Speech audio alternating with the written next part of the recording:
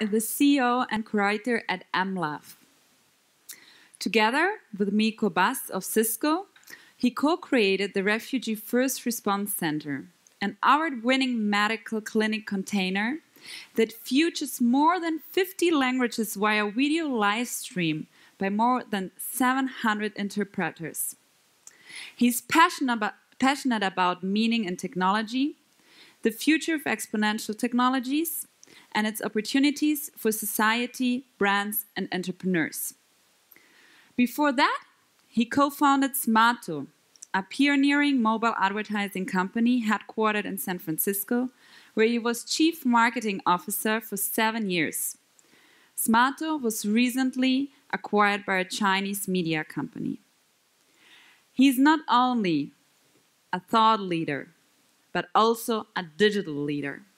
Please welcome Mr. Harald Neidhardt. So I'm trying to tell you a little bit of a story how we created something which is, uh, I think, more meaningful than, let's say, a new Facebook for cats or left-handed cats or whatever micro little new apps we can come up with. Because obviously, when we run digital innovation, there's so many things you can do, and uh, you know everybody is their own target group. But I think there's some people around us and humanity as a whole um, is basically demanding us that uh, we think a little bit harder how we can help in uh, the solutions which is needed and which can bring us all forward. So I want to talk about exponential technologies as everybody out here, but uh, really think um, how we can apply this for the future. And uh, who is aware of the uh, SDG it's like a really uh, stupid um, three-digit name, but Sustainable Development Goals. People have heard about it, the grand challenges and so on. So I think this is really what it's at. Um, we um, met Katerina and uh, uh, Monty recently at Davos, and uh, you think this is such a big uh, event, and there's so many global leaders, and it's only about big politics, but there's a lot of um, NGOs and UN uh, um, actions as well, and so there's a big combination of where big money can also do, uh, you know, good, and where a lot of big leaders are around some of these challenges are addressed and uh, helped, and you have you know actors and these people around to give attention.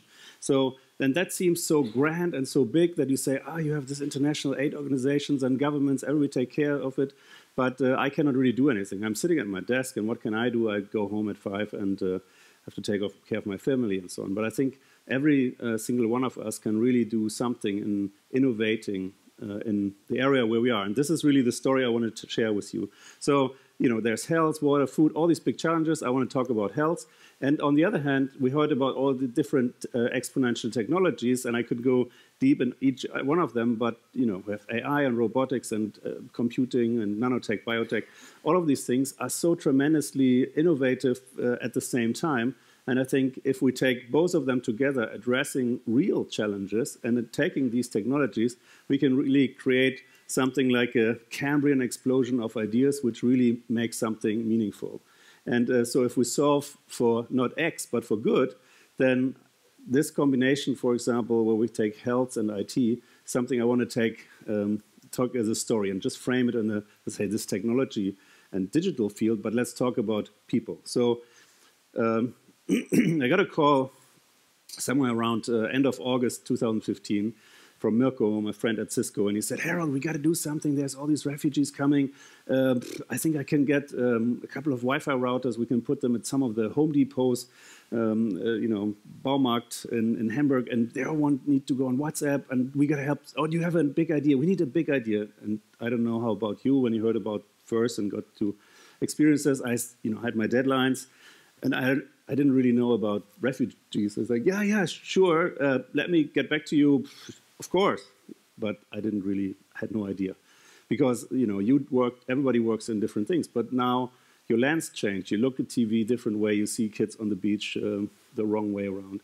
Uh, you see all the people on the trains, and uh, people arrive. And I was at the Hamburg main station. There was a tent, medical tent, no floor in it, and uh, there was a little like a you know, a triage bed uh, where you had uh, the doctor coming in between 12 and 1 in his uh, lunch break. And on the right, uh, you saw some blue gloves, and on the left, you had an or orange defibrillator, similar color. So here, welcome to Germany. It's like, we cannot do this. I mean, we can do much better in service, but also it's not really decent and uh, not humane and so on, and not, not even talk about um, you know, sterile environment. But it's also not a good working environment for the doctor. So uh, I, I, said to Mirko, hey, we got to do something. Let's build a clinic. Don't you know? Forget the, the Wi-Fi. We can put Wi-Fi in there as well. But why don't we take? And this sketch you can see a little bit is basically what we hashed out overnight. And then he sent it to his uh, people. Um, his immediate boss said, "Oh yeah, great. Uh, what do you mean? What's the go-to-market? Is this a product? Are we selling this now? Uh, what's the price? What, what do you what you know? What's pricing if we do ten or what, so basically no."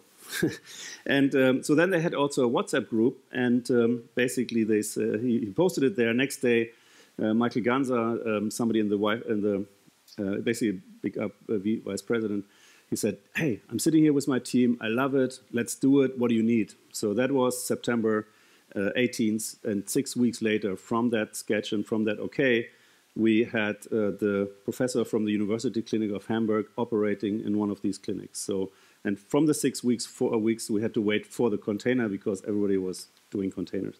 So here you see a, a situation where inside of, uh, of the container, you have Professor Scherer from the University Clinic of um, Eppendorf in Hamburg and um, you know, refugee, a new local, basically. And um, you see on the side, I don't know if a pointer here, but you see the monitor, and there's a live translator, a real person. It's not some you know, automatic thing but basically somebody from that context, from that language, and also um, you know translating live. So um, the normal way is that you come into maybe a clinic like this, and you have four translators for the main four language: Arabic, you know, Urdu, Pashto, Farsi, the new German dialects, and uh, the people sitting there and uh, sitting on the bench and you come in maybe with your you know husband and your you know kids crying and so on. There's four people. There's a doctor with maybe so it's like 18 people in the same room not 18, but you get the clue. And uh, so here, this is a just more normal situation. You have, um, you know, somebody beaming in, and we work together um, with a company called SAVD in Vienna, and uh, they have 750 live translators, interpreters, sitting in, you know, various with a, at home in offices and so on, and they can beam in and say, oh, I need Pashto now, and actually, could I have a female as well? So we can beam them in. Uh, they're live there for five or 10 minutes. And then during the normal conversation, the doctor says, okay, what's your problem? Um, you know, and how, you know, how does it uh, occur? Um, what's the circumstances, anything else, and so on and so forth. So after five or 10 minutes, you can speak and uh, the language basically is solved and you can really communicate about the problem. So um, this has worked pretty well. Uh, the city was engaged, the university clinic was engaged, and so we came up, this is uh, Mirko here, uh, after these first six weeks, put this all together, put it there in the camp, and uh, it was very well received. Just two weeks later, we had um, a very high visit from the Otto family, and they said, hey, we want to do also something, we want to help. And uh, so they looked at the, the city, said, hey, you know, why don't you look at the container? After a visit of a mom with a kid who really came in like this, and uh, after three minutes talking to uh, you know somebody in her in her language, she just opened up and said, "Oh yeah, this is what's happening." Basically, they they really engaged, and so they donated ten medical containers, and they were bigger, 30 foot, and uh, more waiting room and so on. So you see a lot of uh, black wearing people. Uh, and Mrs. Otto in the middle, and everybody's happy. The Red Cross got the donation. And uh, so now over the next three years, we have 10 of these units are now installed in Hamburg. And uh, so out of the little idea and a little sketch, basically, in the first unit, which Cisco helped us, we have now 10 units and the next level up, basically, um, and installed in Hamburg. And uh, there's really a pretty happy family. And um, so now we said, well, this is really cool. Let's expand and let's tell the story. So um, pretty small logos here. You cannot see it, but um, so we got a couple of awards. Just recently, a Bayer Aspirin um, Innovation Award for Social Impact. Um, got around to um, present. Uh, we, were, we were mentioned in one of the reports from Richard Branson team from B team to the with the elders about the refugee crisis. One of the top 10 global innovation awards uh, or corporate engagements, and all the nine other um, companies are basically Fortune 100, Accenture, Google, LinkedIn, um, UPS, and so on and so forth, and our um, Refugee First Response Center. together with Cisco. So nice uh, media attention as well, but we also had the chance, we moved the box one day to um, for the Singularity University opening lab in um, Eindhoven, and uh, Queen Maxima was there, so we could show it to her as well. And then also Penny Pritzker, the former um, US Secretary of Commerce, was also visiting Hamburg uh, on a smart city tour and was impressed by this thing. So this is all great and nice, but I thought, okay, this is cool. We can help in Hamburg, and you know, as you know now, the, it's it's not so many uh, people arriving anymore. But uh, so I said, okay, let's go, and we ha we have to go where the really trouble is. So our dream is to see can we scale it from Hamburg and now bring it into the world. So the last November we actually were lucky that we could bring uh, two containers, one into Greece. This is basically the first pilot which we had in Hamburg. Uh, it's now in getting installed in a, a, refugee camp in Greece, which is was it's actually a military prison designed for 650 people. There's now more than 1,200 people living in there. It's it's really horrible situation, and also the medical situation is not so well. So with, together with um, Paula Schwartz, who is very active there in Samos, she invited us to see, hey, can we help? And so we, with the help of Cisco in Greece and their um, employees there, they were actually getting this installed so that we have also translation and video, other video, video service like telemedicine. Because you're on an island, you are in a camp. I mean, how um, is, uh, how hard is that? And so you don't find a lot of specialists. So we want to see how can we bring specialist people to these services. But then even more, we went to uh, Lebanon in the next week and uh, also beginning of November and saw the second containers, which is now uh, installed in Bekaa Valley. That was 20 miles from the Syrian border. And spending a day there was really mind blowing, if you will, or really um, you think twice about your uh, where your compass is heading, uh, because I think we can really engage much more. And you have an idea that you say, hey, again, like there's these international organizations. You have since 20 years, since I don't know how many years, you have international crisis, and they must have to have it down. You know, there was a big six billion dollar sponsorship um, aid uh, conference at Cameron, you know, beginning of last year, six billion dollars, and most of it was supposed to be spent on the Syrian crisis within a, you know basically this time. But if you go into one of these camps, um, you know, you drive a street, uh, whatever. Uh, it's really crazy. You, you drive two minutes and there's like 15,000 people around you uh, in, in, in one street, which is basically more than all of the UK took in for to helping them. And there's more than 1.2, 1.5 million refugees on the Libyan border in Libyan and Lebanon. And obviously they're only 4 million, so that's really a, you know the story. So we, we see, we, we collaborated with um, a local NGO and again with Cisco locally um, Beyond, which have 86 local um, medical stations and they're supported by UNICEF. And this is, you know, this tent is the same thing. They use it for school or they also use it for a doctor's office. And this is like a, you know, five, four millimeter plastic. And now they also have minus 10 and minus 16 degrees uh, there. It's, I mean, it's unbearable and you cannot really understand why you know if this, they have a big nice uh, logo on it unicef but this is not what we thought that they're helping. So i was really frustrated and i think that even encourages us more so and say okay once we have installed the first one in greece and the first one in lebanon and get the the doctors uh, up and running our goal is really can we scale to 10 in lebanon 10 in greece? But we really want to do 100 clinics if we can. And uh, there's still a lot of migration going on. Obviously, they cannot really go up to uh, maybe Germany anymore or Sweden or so, um, but they're still stuck in Greece. Greece alone is was prepared for 20,000 people. Now they have more than 60. Uh, um, Lampedusa, Italy is a hot road. Everybody from, you know, a lot of people from Libya go over this way. So there's a more shift this um, way. And so we want to see if we can bring clinics to where help is needed most, very local, and that's why we use container because you can put it on a boat, you can put it on a truck, and bring it down there and uh, see if we can adapt the use cases. And here's what we want to really see: is there let's sort of a, what our next 2.0 version is exactly what. Um, Eric uh, just mentioned there's so many new cool technology which is maybe a fraction of the cost of what you know maybe a blood lab was before a million dollars now you have blood labs on a chip for maybe uh, 50,000. And you have X-rays, which uh, before was a super specialist who can only operate it. Now you have X-rays or ultrasound machines, which are a fraction of the cost, and a nurse could do it. Or let's say, a Doctor Without Border person. So we try to engage with the local NGOs who already have the staff, but see, can we bring you know, the, the best and the latest of the technology in a package that it's sort of safe and secure, also isolated, can also be heated and uh, help there. And so our dream is really, can we bring 100 clinics? If we have 100 clinics, we can do about 1,000 medical exams a month. And uh, so with, you know, 10 months um, in a year and 100 of them, we can do about a million um, patients a year. And uh, it's not really, um, maybe it's not really much uh, if you have more than 60 million people on the go. And, and uh, this is also possible for rural areas, not only for migrants and refugees.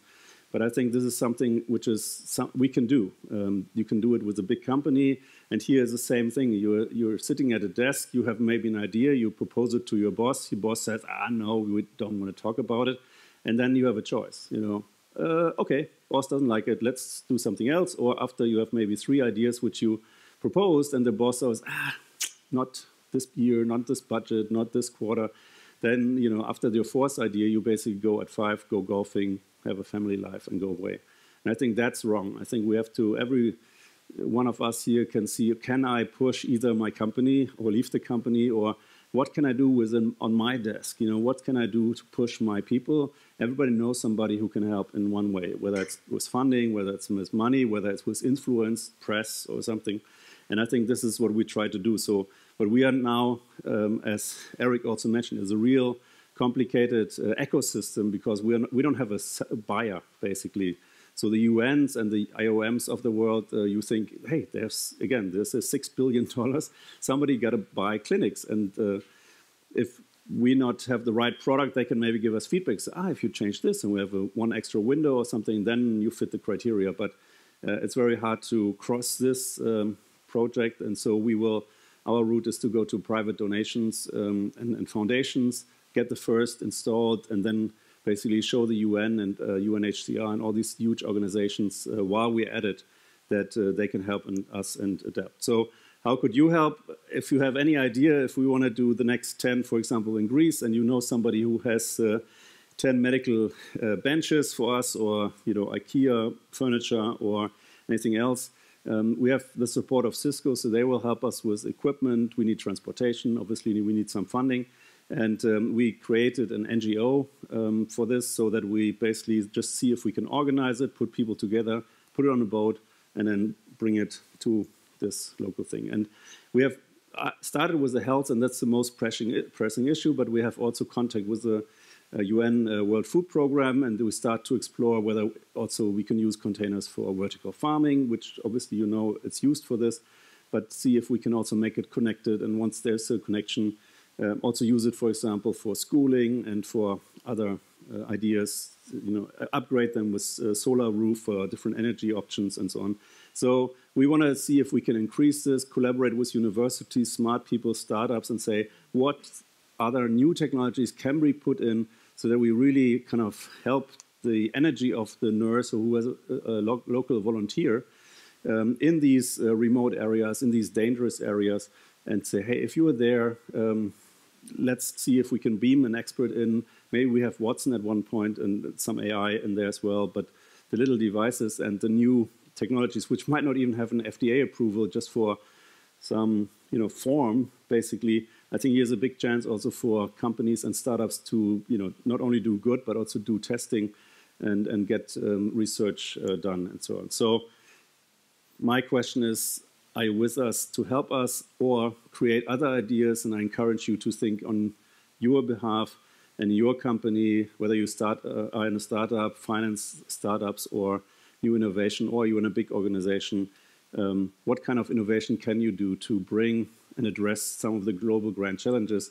And hey, we're an innovation agency. We have a co-working space from 35 containers, so I have just a passion for containers.